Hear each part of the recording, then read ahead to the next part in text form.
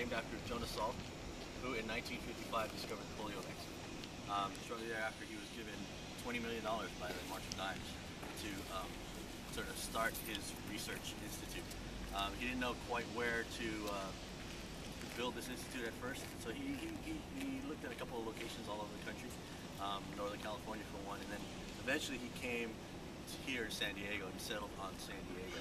Um, at the time, um, this is an area of San Diego called that's called La Jolla. Um, at the time, there was nothing here. Um, and if you know anything about La Jolla now, it's multi-million dollar homes up along the coast. This is prime real estate in, in, in, La Jolla. Uh, but in 1960, there was absolutely nothing here. It was all natural uh, habitat.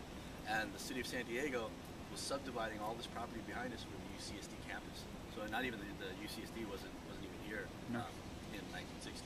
Um, and so the mayor of San Diego offered Louis Kahn 26 acres of property right out here. It's basically from that street, the width of the property here, and it stretches all the way down until it touches the ocean, 26 acres.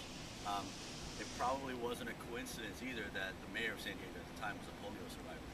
So, um, so he had great interest uh, in, in, in, bringing uh, uh, Jonas Salk here to, so he could start his uh, institution.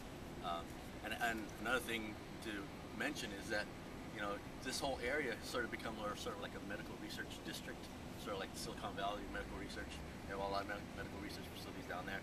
The Salk Institute was the first um, building, the first um, establishment that was placed in here. So it's probably basically the seed of this whole district here in medical research. So